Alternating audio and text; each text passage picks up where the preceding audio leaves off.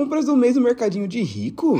Vem comigo ver isso aqui. O mundo fala que o Sans Clube é o mercado do rico aqui de Ribeirão Preto. Pra você ter noção, pra poder fazer compra lá dentro, só quem é sócio. Depois a gente não sabia disso, a gente foi lá dentro, fez um monte de compra, encheu o carrinho, teve que virar sócio. Foi dessa vez, foi da última vez que a gente foi. E dessa vez aqui a gente acabou indo fazer uma mini despesinha. Aproveitando vai. que a gente ia lá só pra comprar sabão em pó, eu falei assim, ah, amor, você quer saber? Vamos fazer a despesa aqui mesmo? E vamos ver quanto vai dar essa brincadeira aqui. Diferente de vários mercados, lá tem coisas que vendem apenas em pack. E olha esse tamanho de papel higiênico, 40 rolo, meu Deus. A minha mania de organizar as coisas não muda, galera. Não suporto fazer compra e não organizar o carrinho. Pra vocês, achei muita coisa que vale realmente a pena e outras não. Mas eu queria ter essa experiência. O carrinho não ficou muito cheio porque a gente compra coisas em pacotes grandes. Bem diferente quando a gente vai no mercado compra um monte de coisa pequena. O valor final vai te surpreender, mas vou te explicar um pouquinho. Dentro do carrinho tem duas lojas no trem que cada uma valia 140 reais. Pra fazer a parte de despesa, era pro sogrão. Como eu tinha um cashback pra resgatar, eu já fiz toda a despesa lá mesmo. Também tirando o valor da lata do sogrão, o valor final não ficou tudo isso daí que vocês vão ver agora. Ficou um pouco de 300 conto a menos. Resumidamente, valeu a pena? Eu acho que valeu. As coisas que nós compramos vai durar bastante tempo. E aí, o valor final, você achou caro ou barato? Comenta aí.